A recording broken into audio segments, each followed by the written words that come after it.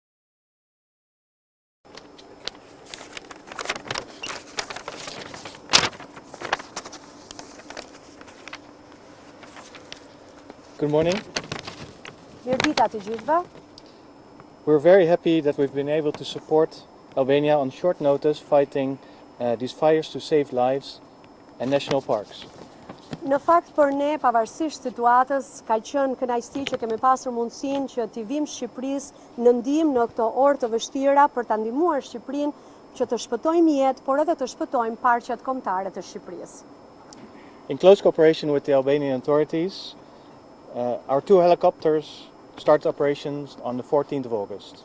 Dhe në bashkëpunim tejet të ngushtë me autoritetet shqiptare, ne kemi filluar pra punën në fakt me anën e dy helikopterëve që kemi sjellë në Shqipëri dhe puna ka filluar në datën katërmbëdhjetë gusht.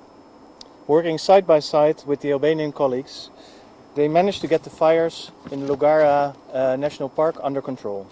Dhe kanë qenë këta oficerë pra tanët të cilët duke bashkëpunuar dita ditës me kolegët e tyre shqiptarë kanë mundur që në Parkun Kombëtar të Llogorasë ta sjellin situatën e zjarreve nën kontroll. After that, they continued fighting across Albania. Dhe më pas ata vazhduan punën, luftën në fakt në të gjithë Shqipërinë. And then some statistics, I think everyone likes statistics. Dhe mendova që ndoshta tani është mirë që t'ju jap disa shifra sepse mendoj që shifrat i kanë qejf të gjithë. In total our helicopters performed 43 flights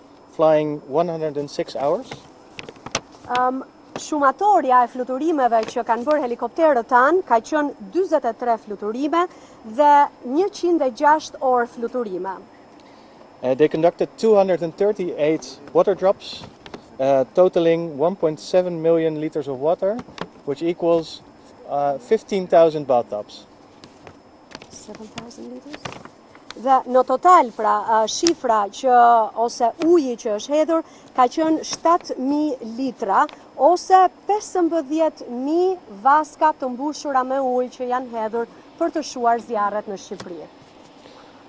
Originally they planned to stay two weeks, but given the, the fires and the request that came from the Albanian government, uh, yesterday we got confirmation to uh, continue the work until the 28th of August. Dhe si fillim, në fakt këta helikopterë kanë ardhur në Shqipëri vetëm për 2 javë, por duke marrë parasysh situatën në vend si edhe kërkesat kërkesën, më falni që është bërë nga autoritetet shqiptare, atëherë ne dje patëm mundësinë që të merrnim konfirmimin nga qendra që ata të vazhdojnë punën e tyre këtu në Shqipëri gjatë muajit gusht deri në datën 28 gusht. And finally we hope to continue our smooth cooperation with the EU, with the Albanian authorities, the Czech Republic and other contributing countries.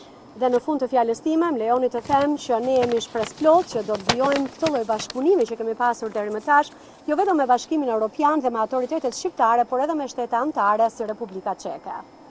Thank you. Faleminderit. Thank you.